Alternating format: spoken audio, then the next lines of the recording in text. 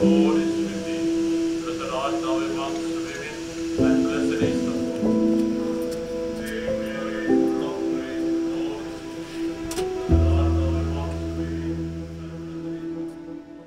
Les évêques ne sont pas présents euh, à Lourdes physiquement puisque la plupart sont en visioconférence, mais les archevêques sont présents ici euh, à Lourdes ces jours-ci.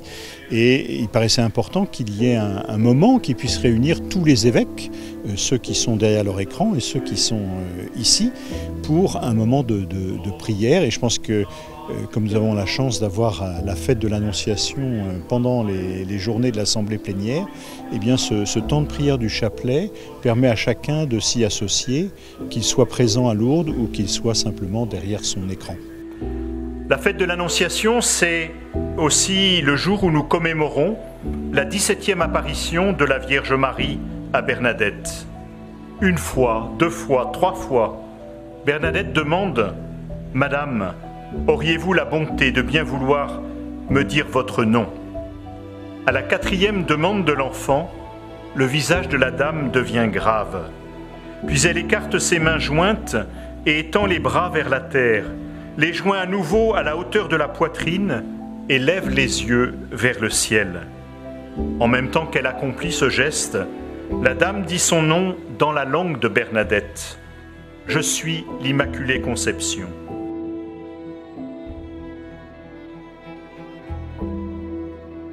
On sait aussi que le chapelet est une prière euh, à la fois très, très simple et très populaire au bon sens du terme. Elle rejoint chacun. Le chapelet qui est retransmis euh, maintenant aussi par la, par la télévision, il est suivi très très largement dans, dans le monde entier. Et donc c'est une façon aussi de s'associer à tous ceux qui viennent euh, confier à la Vierge Marie leurs intentions, parfois leurs, leurs souffrances, leurs difficultés, mais aussi leurs espoirs et leurs projets. Autour de l'enfant, tous comprennent que quelque chose de nouveau a dû advenir, car le visage de Bernadette est plus rayonnant qu'il ne l'a jamais été. Premier mystère joyeux, l'Annonciation. Marie répondit à l'ange, Je suis la servante du Seigneur, que tout se passe pour moi selon ta parole. Je pense que pour nous, euh, l'Annonciation, elle est vraiment cette invitation à la confiance, à la disponibilité, à ouvrir notre cœur pour pouvoir répondre euh, aux appels que le Seigneur nous adresse dans notre vie quotidienne, à travers euh, la prière, à travers les sacrements, à travers les événements qui nous touchent, les événements heureux ou, difficiles. Ce sont toujours autant d'appels.